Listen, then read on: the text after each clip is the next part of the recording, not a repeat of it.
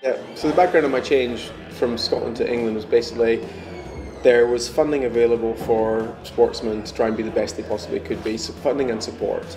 And I'd never been eligible for it. Uh, when I was younger, I don't think it was as available. And then after '96, um, the Atlanta Games, it was John Major, whoever the sportsman at the time was, basically said, "We need to win more gold. It's good for the country. We need to build up to be better." And sort of what we can see now is a legacy of that from 2012 um, being so successful.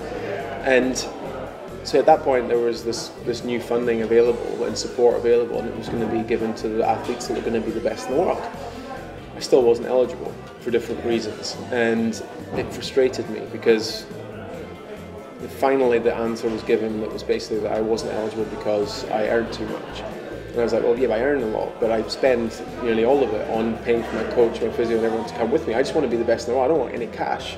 I just want to be the, the, people, the support staff that I needed, and the support that I needed to be taken care of, so I could then do the best I can. Um, but it was a blanket no. Um, and at the same time, I mean, my two coaches, one was the English national coach who I'd been coached by before, who I still had really good ties with, David Pearson. Neil Harvey was one of his best friends. Um, small world squash is. Um, people I trained with on the tour and sort of played with and respected and hung out with were a lot of English players. So Lee Beachill was a good example. Chris Walker, Mark and some of the older English guys.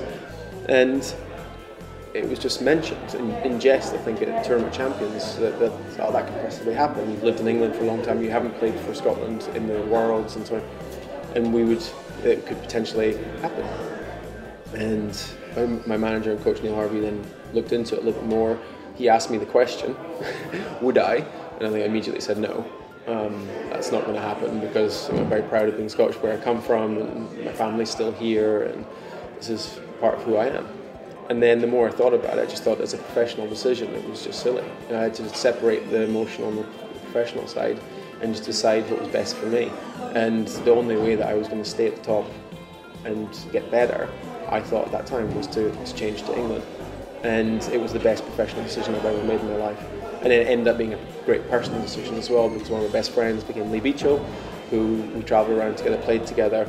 Um, I think I, from what I did and my involvement, and obviously Nick Matthew, James Willstrop, they were part of that, and they were young kids coming through at the time. So I feel like it was a really positive experience. And if I'd stayed playing for Scotland, I don't know if I, I, would, I wouldn't have had the same effect on the next generation. And therefore, I think it's really been a positive thing for everyone involved in the professional game in England that, that happened. Um, and it's it, like I said, for me professionally, it was the, the best thing I ever did because it meant I stayed at one for five years.